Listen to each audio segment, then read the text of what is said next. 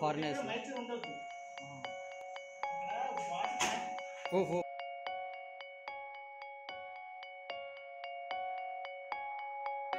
welcome to smile for our channel. ఇవాళ మనం sand casting గురించి క్లియర్గా తెలుసుకుందాం. దాంట్లో మనకి ఎలాంటి ఫాల్ట్స్ ఉంటాయి ఎలాంటి జాగ్రత్తలు తీసుకోవాలి అండ్ అలాగే డై ఎలా మనం తయారు చేసుకోవచ్చు శాండ్ కాస్టింగ్లో అంత ఈజీగా మీకు లాస్ట్ లాస్ట్ వీడియోలో చెప్పాను నేను ఎన్ని టైప్స్ ఆఫ్ శాండ్ కాస్టింగ్స్ ఉంటాయో. అందులో ఇది ఒకటి. గ్రీన్ శాండ్ కాస్టింగ్ అనుకోవచ్చు మనం. ఇందులో త్రీ మెటీరియల్స్ మెయిన్గా ఉంటాయి. మిక్సప్ ముందుగా మనం మెటల్ని మెల్ట్ చేసుకోవాలి ఉంటుంది. మనం గ్రాఫైట్ క్రిసిబుల్స్ యూజ్ చేస్తాం.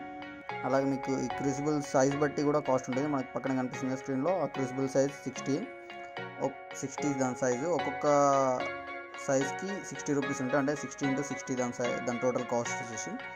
ఇది మనకి ఫ్లక్స్ మనం యూజ్ చేస్తూ ఉంటాం. ఎక్కడైనా మనకి ఇది క్యాస్టింగ్లో యూజ్ చేస్తారు. ఇది ఎందుకంటే ఇంప్యూరిటీస్ని తీసేయడానికి అలాగే దాని క్వాలిటీని ఇంప్రూవ్మెంట్ చేయడానికి దీన్ని యూజ్ చేస్తుంటారు ఎక్కువగా.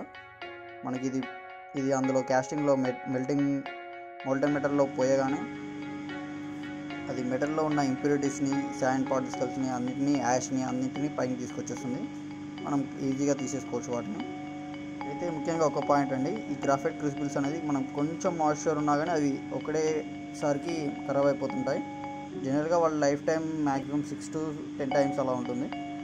పౌడర్ మిక్స్ చేసినప్పుడు మాత్రం చాలా బాగా మిక్స్ చేయాల్సి ఉంటుంది ఎందుకంటే వాట్ ఆ పౌడర్ని కూడా ముందే మనం ప్రీహీట్ చేసి ఉంచాలి. బికాజ్ ఆ పౌడర్ మెల్టింగ్ పాయింట్ కనుక ఎక్కువగా ఉంటాయి ఆల్రెడీ మనం తీసుకున్న మొల్టన్ మెటల్ మెల్టింగ్ పాయింట్ కంటే మెటీరియల్ కం మెటల్ కంటే ఎక్కువ మెల్టింగ్ పాయింట్ ఉంటే కనుక అది అందులో మిక్స్ అవ్వదు. అందుకే మనం దాన్ని ప్రీహీట్ చేసుకున్నాకనే అందులో పోయాల్సి ఉంటుంది. అలా అయితేనే అలా మిక్స్ అవుతుంది. లేకపోతే మనం చాలా చాలా పౌడర్ అనేది మనకి రిటర్న్ వచ్చేస్తుంది. అలా మిక్స్ కాకుండా ప్రీహీట్ చేయడం మాత్రం ఇంపార్టెంట్. మనం ఇలా ఏదైనా మెటల్లో పౌడర్ మిక్స్ చేసేటప్పుడు అండ్ స్టీరింగ్ స్టీరింగ్ మాత్రం చాలా ఇంపార్టెంట్ అండి. ఎందుకంటే ఇంకా కొందరైతే పర్టికులర్ ఆర్పిఎంలో టూ హండ్రెడ్ త్రీ హండ్రెడ్ ఆర్పిఎంలో కూడా స్టిచ్ చేస్తుంటారు అయితే మనం యూజ్ చేసే మెటల్ ఒక ఫోర్ కేజీ ఫైవ్ కేజీ ఉంటే మాత్రం స్టీరింగ్ మనం పెట్టలేము అందులో. ఆ స్టీర్ రాడ్ వచ్చేసి దాని లెంత్ చాలా ఎక్కువగా ఉంటుంది కాబట్టి అందులో మనం చేయలేము. ఇప్పుడు మనకి మెల్టింగ్ రీచ్ అయ్యాక మనం మన డైస్లో దాన్ని పోర్ చేయాల్సి ఉంటుంది. ఎందుకంటే ముందు మనం ఎలాగ ఇంప్యూరిటీస్ కోసం ఫ్లక్స్ కలిపాం కదండి ఆ ఇంప్యూరిటీస్ అనేది తీసేయాల్సి ఉంటుంది. మనకి ఇందులో మనకి మనం కలిపిన పౌడర్ కూడా కొంచెం వస్తుంది. ఎందుకంటే పౌడర్ అనేది ఎప్పుడు మిక్స్ కాదు కంప్లీట్గా దాని కెమికల్ ప్రాపర్టీస్ అన్నీ ఆల్రెడీ ఇంజెక్ట్ అయి ఉంటాయి మనం మన మోల్టైన్ దాంట్లో. సో అదంతా తీసేసుకున్నాక మనం దాన్ని ఆ టెంపరేచర్ అనేది మన డైకి సెట్ అవుతుందా అనేది ఒకసారి ఆలోచించుకొని ఆ తర్వాత మనం పోర్ చేయాల్సి ఉంటుంది. మీకు వీడియోలో కనిపిస్తుంది నార్మల్ క్యాస్టింగ్ ఫర్నేస్ కాబట్టి ఇక్కడ మనకి ఎంత టెంపరేచర్ ఉందనేది మనకి తెలియదు. అందుకే ఒకవేళ మీకు మోల్టన్ మెటల్ అనేది ఇంకా ఎక్కువ టెంపరేచర్ ఉందా అనిపిస్తే మీరు కొంచెం కూల్ చేసుకోవడం బెటర్ దాన్ని. ఒకవేళ కూల్గా ఉందనిపిస్తే మళ్ళీ ప్రీ హీట్ చేసుకోవడం మళ్ళీ అందులో మన క్రూసిబుల్ని అందులో పెట్టేసేసి మళ్ళీ హీట్ చేసుకోవడం బెటర్ ప్రీ హీట్ అయిపోయాక మళ్ళీ ఒకసారి మనం యాష్ కంటెంట్ ఏమైనా ఉంటే తీసేసుకొని మనం మౌల్డ్స్లో పోసేసుకోవచ్చు మన మోల్టన్ మెటల్ మనకి ఏ డయామీటర్ కావాలంటే ఆ డయామీటర్లో మనం డైస్ తయారు చేసుకోవచ్చండి. ఇది శాండ్ క్యాస్టింగ్లో ఉన్నది మెయిన్ అడ్వాంటేజ్ ఇది. అండ్ కాస్ట్ కూడా చాలా తక్కువ ఉంటుంది. మళ్ళీ మనం యూజ్ చేసుకోవచ్చు ఆ క్యాస్ట్ని మొత్తం శాండ్ని శాండ్ మిక్సర్ని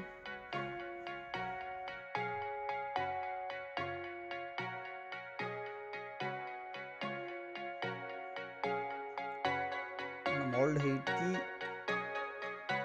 మోల్టన్ మెటల్ హీట్ అనేది కొంచెం సెట్ అయ్యేలా ఉండాలి. మన మౌల్డ్లో ఎలాంటి మాయిశ్చర్ అనేది అస్సలు ఉండదు. మాయిశ్చర్ ఉంటే మాత్రం మీకు స్టార్టింగ్లో చూపించాను కదా వీడియో సేమ్ అదే అవుతుంది. అండ్ మనం పోరింగ్ కూడా మనము మొత్తం హోల్లో ఫిఫ్టీ పర్సెంట్ సిక్స్టీ పర్సెంట్ అలా పోయేదండి. మనకి థర్టీ ఫార్టీ పర్సెంట్ మాత్రమే అంటే చాలా తక్కువ డయామీటర్తో అంత అంత మాత్రమే అందులో మనం మెల్ మోల్టన్ మెటల్ని పోయాల్సి ఉంటుంది.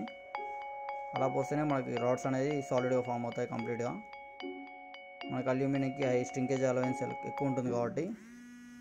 అండ్ మనకి కావాల్సిన డయామీటర్ కూడా ఒకవేళ మనకు కావాల్సింది ట్వెల్వ్ ఫిఫ్టీన్ ఎంఎం అయితే మనం ట్వంటీ ఎంఎం డయామీటర్ సెలెక్ట్ చేసుకోవాల్సి ఉంటుంది.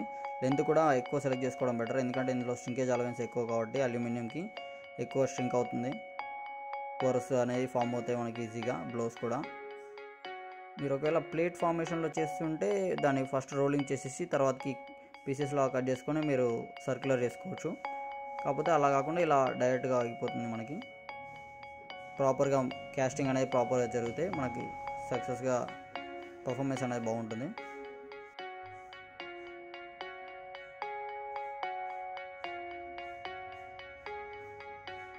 ఇక్కడ మనం త్రీ కేజీ అలా యూజ్ చేసామండి. త్రీ కేజీతో మనకి ఆల్మోస్ట్ వన్ ఫిఫ్టీ ఎంఎం డ్యామ్ లెంత్లో ట్వంటీ ఎంఎం డయామీటర్లో మనకు ఒక ఫిఫ్టీన్ టు ట్వంటీ పీసెస్ వరకు వస్తాయి.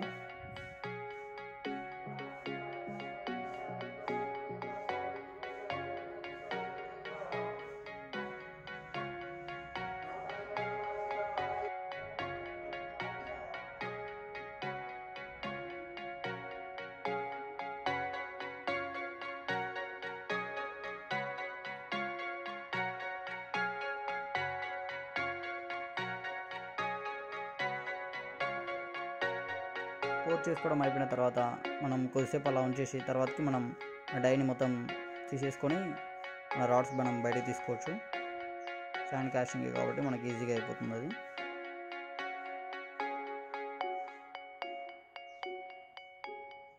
ఇది ఈజీ మెథడ్ అండి. నెక్స్ట్ మనం ఫైనల్గా మనం గ్రైండింగ్ చేసేసుకొని మనం వాటిని ఫినిషింగ్ కూడా చేసుకోవచ్చు.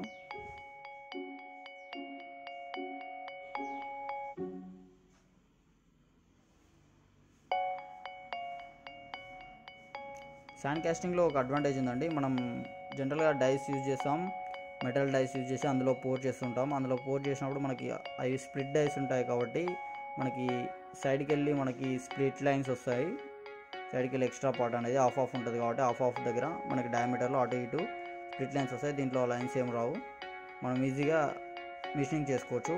అలా స్ప్లిట్ లైన్స్ ఉంటే అవి మెటీరియల్ ప్రాపర్టీస్ చేంజ్ అయ్యే ఛాన్సెస్ ఉంటాయి. అవి కట్ చేసే టైంలో